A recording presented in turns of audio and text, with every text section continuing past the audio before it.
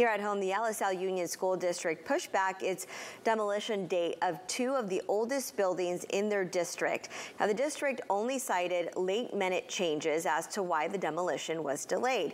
It'll now take place tomorrow at 8 a.m. The Alisal Community School was built in 1936. The Fremont Elementary Building was back built back in 1941, and demolition and reconstruction of both schools is in phase two of this project. The district expects work to continue during the upcoming school year.